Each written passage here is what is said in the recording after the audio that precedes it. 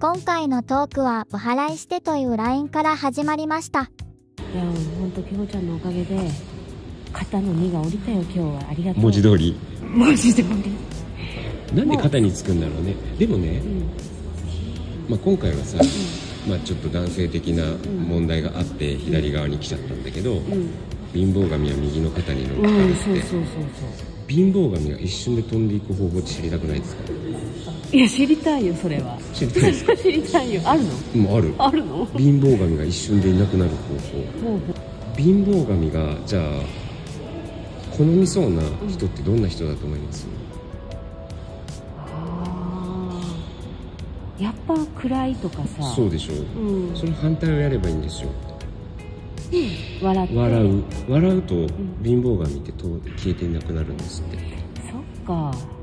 これまた単純で明快な。明快でしょ、で笑う角には服着たるって言うけどそうだね。そう。貧乏神を追い払うには笑えばいいんですよ。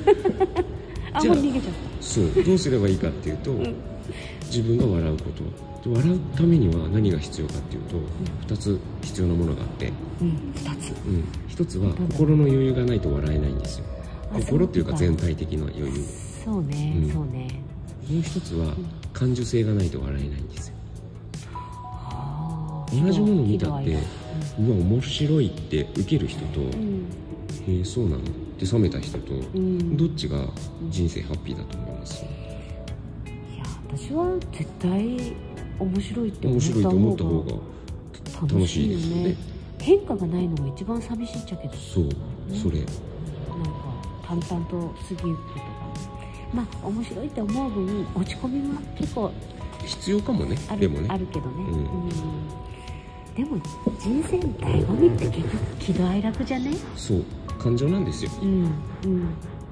一生懸命なんかいろいろなんか思考が現実化するとか言ってるけど、ん思考と感情どっちがパワー持ってるかっていうと実は感情の方がパワーがあったりとかしてだうん。から感情のエモーショナルコントロールをうまくやってる人の方が人生うまくいくっていう。だって思考現実化しますか？それ知ってる人は知ってるでしょうけど。思考じゃないもんだって。波動だもんね。そうそうだからなんですよ。こう楽しいという感覚で軽い波動を持っとったら叶うんだもん。っそうそうそうてそう。本当に思うよ。っていう瞬間ありますよ。あるよね。あるよね常識っていうものが正しいでジャッジしていくと、ん。本当苦しいんだよねいろんなことが。そうそうあこれいけないことしてるとかさいろいろ。でもそれやめたらさ、そう、あの楽しいでか楽しくないかで選択するようにしたら、うん。うんいや勝手にさ本当につきまくるというか、そうなの。ようん。困ったことが起きんくなりだしってこと起きないよね。そうなんよ。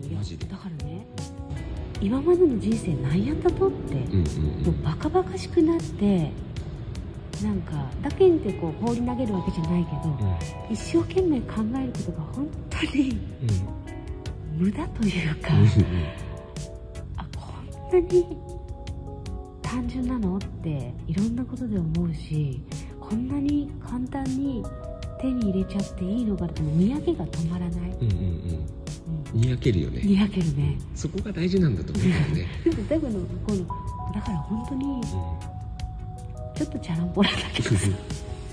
いやでもこれでいいんだなと思ったらだってさ言うじゃん。真面目ジメジメって。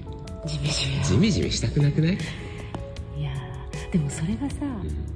正しいことっていう風な先入観っていうか植え付けられた固定概念みたいなのはやっぱり、うんうん。まあ、まあだいぶなくなっちゃったけどね、うん。うんなくなっちゃったっちゃけなくなっちゃったけどやっぱあるからさ。どっかにあるよね、うん。だってそういう教育受けてきたんだもん。そうなのよね、でも今の人たちってあんまりどうなんだろう。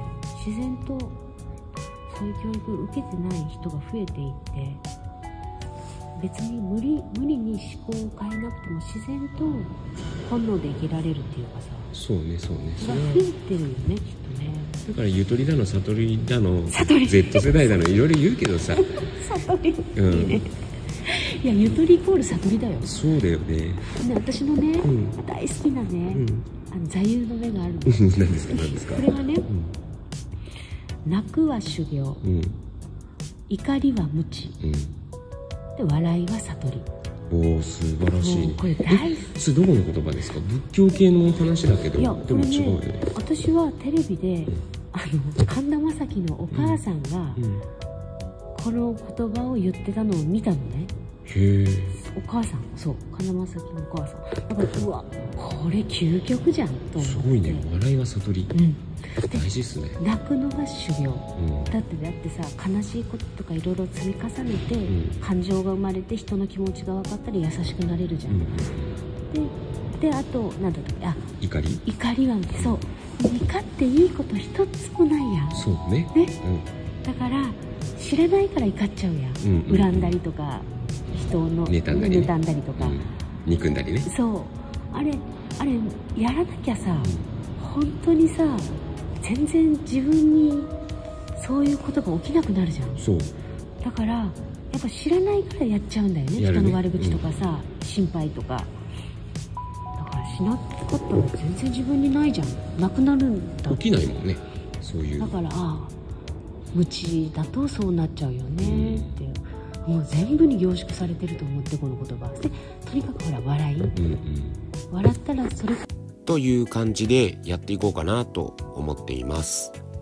どうですかね、まあ、好評であればよかったらコメントでご意見をお願いします